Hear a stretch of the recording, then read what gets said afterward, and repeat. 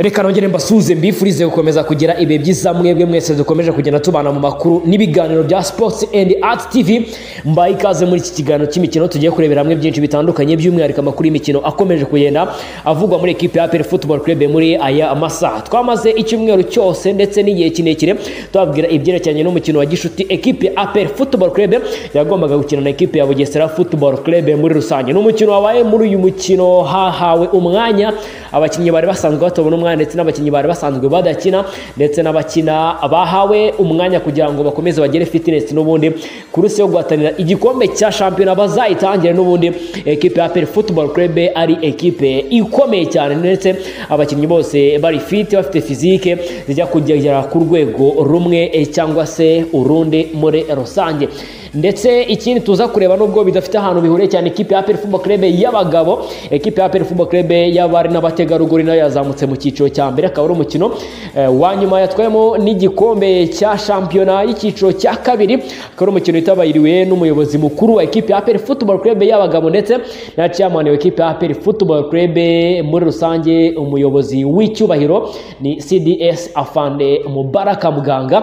Ibyo byose ni byo tuza kuba tureba muri iki kiganiro ndetse turaza kubana. Namwe mukande subscribe mukande like share na comment. Ndetse tuze no kugaruka ku magambo yatangajwe na Sharaf Erdin Shibubu Ar Abdurrahman nyuma yuko atsindiye igihembo cy'umukinnyi w'ukwezi muri Primus National League cyangwa se muri Rwanda Premier League muri rusange. Ni ibihembo bitangwa n'ikigo kimwe na kimwe cyatsindiye isoko cyangwa se cyatsindiye kuba cyatanga ibi bihembo gikora ibintu bya betting hano mu Rwanda. Ini Sports and Art TV mbahaye ikaze rero. Muri iki kiganiro tugiye kwibanda ku bijyanye n'umukino wa ekipe ya bugesera. Ibyo gukuramo ndetse n'icyo twabonye twagakwiye kwiga ndetse n'abakinnyi bamwe na bamwe ba ekipe ya Football Club ibyo bakwiye kuba bakosora by'umwihariko abakinnyi badasanzwe bahabwa umwanya munini wo kujya mu kibuga muri rusange. Ni umukino wabereye mu karere ka bugesera. Ni umukino benshi bari biteze ko n'ubundi ari umukino ikipe ya Football Club ishobora gutsinda mu buryo bworoshye cyane ariko ni umukino waje kuba ari umwe mu mikino igoranye cyane. APR Football Club yabanjemo abakinnyi batandatu cyane yabanjemo abakinnyi bari basanzwe batabona umwanya muri rusange. Ubwo ni Ishimwe Jean Pierre Mario ni wari uri mu izamu. Burege Prince na Rwabuhi Aime Placide bari bari muri defense. Dieudonne Nzotanga Niyibizi Ramadhan Tadeo Ruwanga Kategaya Eri Rumonika Jean Bosco Kwitonda Rebecca ndetse na Bizimana Yannick. Yewe na Victor Mbawoma Chukwemeka mu gihe hari hari abasimbura barimo Mutabaruka Alexandre Mbawe Mwami Taiba Ndikumana Dani ndetse na Surley Sanda muri rusange uko abakinnyi bose bahari uko aba bakinnyi bagombaga kwifashishwa muri uyu mukino ndetse n'uko ekipe ya Football Club yagombaga kuba yababyaza umusaruro. Yagira ngo irebe n'ubundi byinshi bagiye bashinja umutoza Thierry Christian Froger ko hari abakinnyi bamwe na bamwe atajya akinisha. Ubu ngubu yabikoze ndetse ashaka uburyo aba bakinnyi nabo baza kubona umwanya kugira ngo baze kugaragaza icyo bashoboye ndetse no muri no final days cyangwa se mu minsi ya nyuma cyangwa se muri journée za nyuma za shampiyona nabo azagende abagerageza. Cyane cyane uwitwa Surey Sana n'umwe mu bakinnyi kuva abagurwa mu kwezi kwa mbere bagasinyishwa amasezerano y'imyaka ibiri n'umwe mu bakinnyi batigeze bagira uruhare runini bakora ndetse n'umwe mu bakinnyi batagaragaye mu mikino myinshi itandukanye. Ngira ngo umukino uri competitive yagaragayemo ni Mapinus Cup ndetse n'umukino APR Football Club yakinnyemo na ekipe ya Musanze. Ngira ngo ni umukino wa gishutira wa Musanze. APR Football Club yakinnye ni umukino wa Musanze wa gishuti cyangwa se ni igikombe ni igikombe cy'intwaro umukino wa kimwe cya kane. Niwo mukino Surey Sanda yaba yaragaragayemo. So ikintu gihari hano Surey Sanda ni byo yakoze test muri Mapinus Cup aza kwitwara neza ndetse na byo byamuhejeje kuba yasinyishwa amasezerano y'igihe kirekire. Ariko time ni umukinnyi udakoreshwa bitewe n'uburyo Thierry Froger hari amakuru avuga ko atamwiyumvamo atanabona imikinire kandi ubuyobozi bwari bwamusinyishije ndetse n'umutoza bemeye imikinire ko mu bakinnyi bane Surey Sanda ni we wahiswemo cyangwa se ni we ubuyobozi bwahisemo kugira ngo abe yasinya abe inyongera nziza cyane ku ruhande rwo kwatakana cyane ko byagaragara ko muri ekipe ya Football Club ikibazo kiri mu bijyanye na attacking line. Niko gusinyiramo Surey Sanda undi mukino yabanje kuri we na Daniel Komana undi mukinnyi wahawe amahirwe kuri uyu mukino ni uwitwa Ishimwe Jean Pierre ishimwe jean pierre eh, kuva sezo yatangira ndahamya neza ko sinzi niba hari umukino ni imikino yafashe ya shampiyona ishobora kutagera muri itatu. Ari umuzamu wa mbere wa ekipe ya APR ku mukino runaka. Ibi byaje kugirwaho ingaruka n'ubundi eh, yaje kugirwaho ingaruka n'iza rya paveri nzira aza gusanga noneho mariyo ari urwego rwa paveri nzira n'urwa mariyo nta hantu bihuriye nta hantu byahuriraga biza kurangira n'ubundi paveri nzira afashe sipoti ya mbere afashe nk'umwanya wa mbere cyangwa se abaye umuzamu nimero ya mbere ya ekipe ya APR Football Club. Ahangaha nizere ko turi kujyana. Kandi nta n'umwe ubishidikanyaho paveri nzira ni umuzamu nimero ya mbere hano mu rwanda uretse no muri ekipe ya apel football club. Undi mukinnyi ni rwabuhihi eme placide.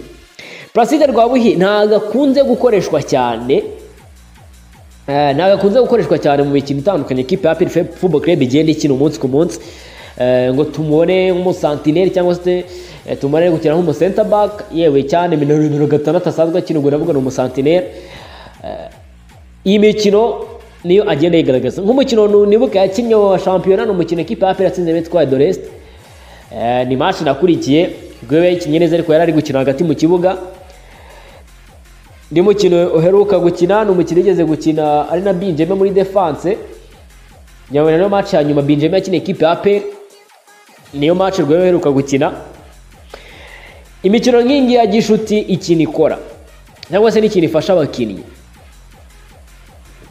Rimwe na rimwe biba ari ukugira ngo ekipe inarebe ese koko abakinnyi dukwiye kuba twagumana ni bande ubwo ntabwo tuyinjira mu mukino ngo byagenze bite? Abakinnyi dukwiye kuba twagumana ni ba- ni bande hari amakuru menshi asohora rwo- asho- asohora witwa Pierre muri ekipe ya APR hari amakuru menshi amutwara kandi iyi mikino ni imikino rwose igomba guhita igwesha kontara cyangwa se ikakwirukanisha. Ikagushyira kuri lisiti y'abakinnyi basohoka muri ekipe runaka. Ibyo ni ibintu biba bihari kandi ni ibintu biba bi- abantu bagomba kwitega n'abantu bagomba kumenya. Kuko this time mu mupira buri mahirwe ubonye uba ugomba guhita uyabyaza umusaruro. Undi wahawe umwanya ni nzotanga. Nzotanga we bapirusi kapu ntabwo twabyirengagiza ni we wayiteka twabonye ko ari umusimbura mwiza wa Mbarenga Fitina akaba n'umukinnyi uri polivara impande n'impande hose yahakina yaba ibumoso cyangwa iburyo. Nicyo cyiza kibirimo. Undi ni Kategaya Eri wahawe umwanya ejo bundi yakinnye mu mukino w'ikirarane. Eh, APR atsinze Metwe Dorese muri nabyibuka ni we watsinze igitego. Kategaya wenda yagiye abona iminota mike mike nawe ntabwo ari iminota myinshi yabonye muri iyi sezo. Na cyane ko yaje muri eh, muri ngiyi muri win- window transfer mu mu winter transfer yo mu kwezi kwa mbere. Abandi ni Bizimana Yannick nawe wahawe umwanya akajya mu kibuga eh, kugira ngo nawe arebe ko yagarura urwego rwe ndetse eh, akongera kuba mwiza nk'uko yabaye mwiza igihe Mbawoma atari ahari akagenda amumusukora ndetse agafasha ikipe ya APR Football Club mu buryo bumwe cyangwa se ubundi. So umukino waje kurangira ikipe ya APR Football Club itsinzwe ibitego bibiri kuri kimwe. Ibitego byombi bya Anne Elija rutayizamu ukomeye cyane wa Bugesera. Eh, igitego cya APR cyatsinzwe na Niyibizi Ramadan kuri penalty. Eh, byumvikane nabo bakinnyi babanjemo ahubwo tujye mu mukino. Ibitego byombi batsinze ishimwe jean pierre mario. Sindi kumujajinga cyangwa sindi kumuca intege ariko ah, ku bantu baza kureba videwo baraza kubona neza ko ni ibitego mario yagakwiye kuba yakuyemo ahubwo ngewe icyo nabonyemo ni ukuvuga nti eh, ishimwe pierre ashobora kuba ubwe yaritereye icyizere ashobora kuba kuba yarata gutakaza umwanya ubanzamo muri ekipe ya APR bishobora kuba byaramugizeho ingaruka. Na revo igasa n'impanuka ko ibitego bamutse ni imipira by'umwihariko nk'igitego cya mbere cya Anne Elija. Ni igitego uyu muhungu yagakwiye kuba yakuyemo kandi ikaba yari kugikuramo mu buryo bworoshye ko ni umupira waje awureba. Eh, nubwo Anne Elija uteranye umuhanga ariko agasa n'uwushyira ku ipoto ariko n'ubundi yari ipoto ishimwe Pierre ahagazeho. Eh, nkanabifata n'imihagararire mibi ya defense ekipe ya APR irimo Buregeya ndetse na Rwabuhi Aime Placide. Ikindi ubwo igitego cya igitego cya cya kabiri cya Bugesera navuga ko ari marikaje mbi cyane mbi cyane mbi cyane yanzotanga kuko Anne Elija bamaye baro arinda mwinjirana muri sirifasi ndetse atsinda igitego na Pierre wasohotse nabi. Eh, yabonaga umukinnyi nzotanga ari kwataka an erija nawe arasohoka ahereza umwanya an erija ni bwo yahise amukubita robe umupira ujya mu izamu. Ibi ngibi bigaragaza iki? Ibi ngibi ikintu byerekana ni muri ekipe ya peri futuboro club abakinnyi bari badasanzwe abantu bahabwa amahirwe menshi yo gukina. Byanze bikunze ikigaragara ni uko bo ubwabo bashobora kuba baritereye icyizere cyo kuvuga bati twataye umwanya n'ubundi revo twari turiho zigomba kugabanuka. Hari abantu benshi biyumvishaga ko nzotanga zaguma kuri revo yari ariho akiri muri muhanga nzotangaza cyangwa se piyera zaguma kuri revo yari ariho eshatu zishize kuko niyo watwaye igikombe cya ibikombe bitatu bya shampiyona byaherukaga benshi bumvaga ko ni niba azaguma ariko iyo udakina iyo utabona amahirwe menshi ndetse no n'iyo utanabona umwanya wo gukina ni ibintu byanze bikunze bikugabanyiriza urwego wari uriho na revo wari uriho wakinagaho ikagenda igabanuka mu buryo bw'imikino bitewe no kugenda ubura imikino myinshi mu maguru. Ikindi ni victor mboma ahawe umwanya kuva yava mu mvune ntabwo arongera gusikoringa cyangwa se ngo yigaragarize abakunzi ba ekipe ya aperi kuva imvune yagiriye muri mapinduzi kapu navuga ko nawe ni imwe mu mvune atazibagirwa ni imwe mu mvune zatumye urwego rwe rugabanuka kumara ukwezi udakina. Wari umaze gusikoringa ibitego cumi na bibiri faze returu bwa mbere bibayeho. Ni ibintu byagaragaraga ko ari ibintu byamuciye intege ndetse ibintu byasubije revo hasi. Abandi bakinnyi nka badarindi kumana abandi bakinnyi nka bambaye umwami tayiba cyane cyane nka badarindi kumana bagomba gushakirwa aho berekeza bakajya gushaka iminota ubwo byanze bikunze destination yaba ari muri marine akagenda akageninga iminota ubundi akazagaruka muri ekipe ya aperi football club. Atyaye na cyane ko kuri ubu ngubu impamvu adakina cyane muri shampiyona ekipe ya aperi ifite abanyamahanga benshi bagakwiye kuba bakina batari dani kuko ubu ngubu dani federasiyo y'uburundi yimanye ibyangombwa ngo akine nk'umunyarwanda. Kuko murabyibuka yahamagaye muri ekipe y'igihugu federasiyo y'uburundi yimana ibyangombwa. So ikintu gihari danindi kumana nawe ni umukinnyi ugomba gushakirwa ahantu yerekeza akazamura iminota myinshi revo ikongera igasubira aho yari ari.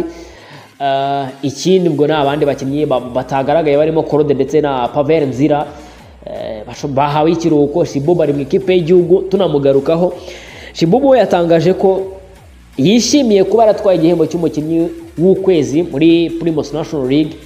Anatangaza ko bigaragaza gukora cyane ndetse no gukorera hamwe nk'ubuyobozi ndetse n'abakinnyi yewe n'abatoza ndetse banafite intego yo gukomeza gutsinda kugira ngo bashimishe abakunzi ba ekipe ya aperi futuboro kurebe babakora inyuma. Wano ni amagambo ya sharafu eridini shibubu uri mu ikipe y'igihugu ya sudani ejo bundi anatsinze igitego cyiza cyane ubwo ekipe ya sudani yatsindaga ekipe ya gine bisawu igitego kimwe ku busa ni igitego cyatsinzwe na sharafu eridini shibubu ari abuderahamani munyemerere mbashimire mbabwire nti mukomeze mugire ibihe byiza. Nitwa janvier mukama ini sports and active. Tuzegura mu yandi makuru yacu tuzaba tureba hamwe ndetse n'ibindi biganiro bigiye bitandukanye ndetse n'andi makuru menshi aba agezweho gatanu kuri gatanu tugenda tureba byinshi bitandukanye. By'umwihariko bigendanye na ekipe ya aperi fumba club. Ikindi ni ekipe ya aperi fumba club y'abari n'abategarugori na yo yazamutse mu cyiciro cya mbere inatwaye igikombe akaba ari umukino tutaza kuvuga byinshi bitandukanye. Ni umukino ikipe ya fumba club atsinze ibitego bitatu itsinda ikipe ya forever women fumba club.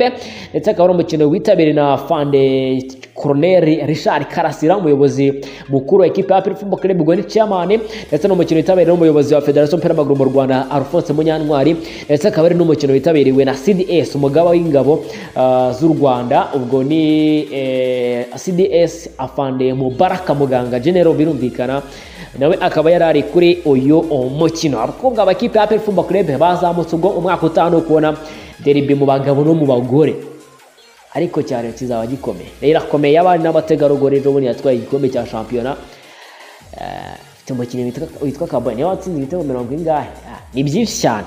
Muri gutegereza tukareba ukuntu bizaba bimeze. Mukomeze mugire ibihe byiza. Mukore sabusikuribe mukande rekisha na komenti ubundi byose birushaho kugenda bigenda neza. Gatanu kuri gatanu.